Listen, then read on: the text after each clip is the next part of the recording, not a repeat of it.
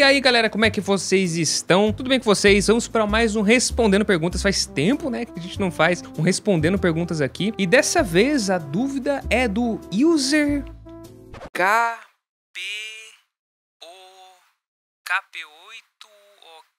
é um usuário, tá? Eu, eu não sei se o, vocês criam usuários anônimos realmente, ou se esse cara excluiu a conta dele e acabou tendo um número aleatório, eu não faço ideia. Mas enfim, é de um usuário ali, né? Que eu vou colocar o nome para vocês aqui. Esse cara, ele comentou no vídeo do Hulk, que a gente fez a dieta do Hulk. Se você não viu, né? Tá Tá aqui, né? Tá aqui, não tá aqui não, tá aqui, tá? A dieta do Hulk, que por sinal ficou bastante legal, bastante interessante. Deu até um pouquinho de trabalho para fazer, visto que a gente precisava pesquisar referências aqui do Hulk em si. Mas enfim, ele comentou o seguinte: tá, mas os gorilas e rinocerontes e ursos e elefantes. Eu tô meio cego hoje, tá, pessoal? Desculpa aí. São super fortes e ficam em atividade física o dia todo, mas eles não comem tudo isso. O elefante.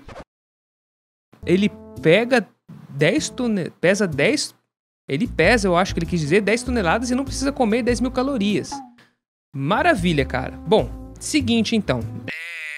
Vamos responder essa pergunta. Eu não sou veterinário, mas tenho um determinado conhecimento em fisiologia e alguma coisinha ali, alguma pontinha em fisiologia animal também. E aí, pessoal, a gente tem uma forma bastante interessante de responder isso. E a lei de Kleiber, na verdade, é a forma mais correta de responder essa pergunta. Mas eu vou explicar para vocês antes o contexto. Comparando com grandes animais, com animais grandes, né, elefantes, ursos, rinocerontes, é importante a gente notar uma diferença aqui, né, entre esses animais, né? Diferenças proporcionais. É, esses animais, devido ao tamanho deles, eles têm uma demanda energética energética, tem uma demanda bem maior do que a nossa, inclusive, mas a maneira com que eles obtêm essas calorias e os tipos de alimentos que consomem variam bastante, né, devido às diferenças fisiológicas, inclusive de hábitos alimentares. Vamos ao que ele citou aqui, os elefantes.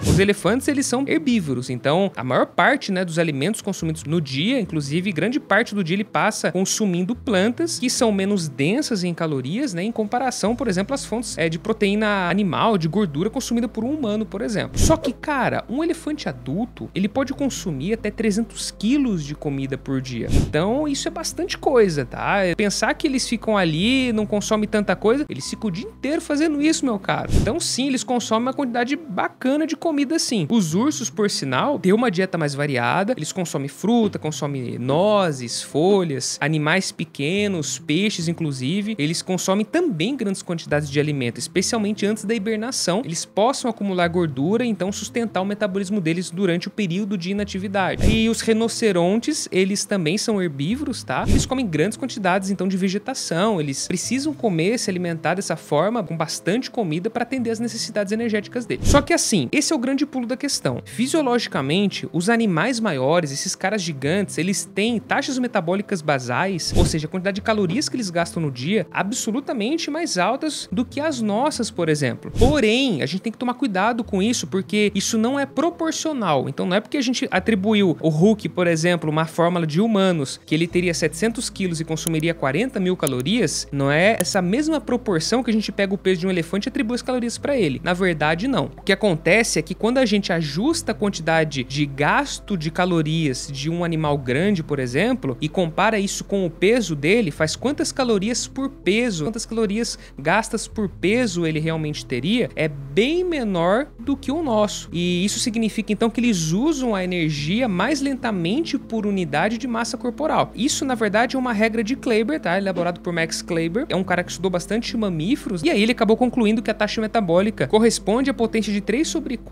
da massa corporal do animal, não seguindo o, a lei típica do quadrado cubo. Ou seja, os humanos, né, com uma alta massa muscular, né, embora tenham as necessidades calóricas mais elevadas, eles podem ainda ser superados pelos requisitos absolutos dos grandes herbívoros. O elefante, com certeza, come mais calorias do que a gente, pessoal. São 300. Ah, mas são plantas. Mas ser 300 quilos de planta, tá?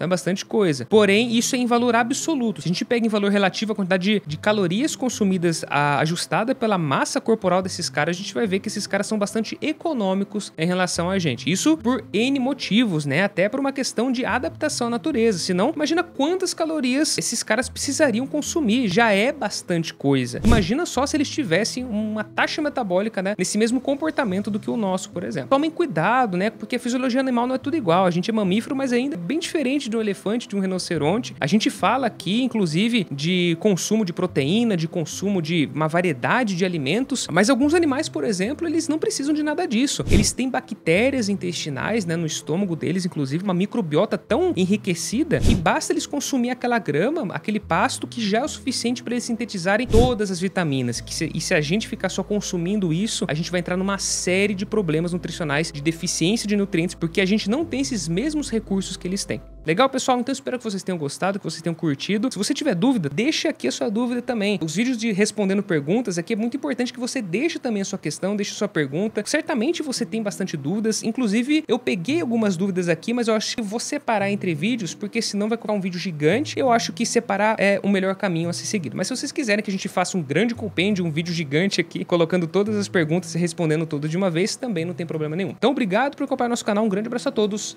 e até a próxima.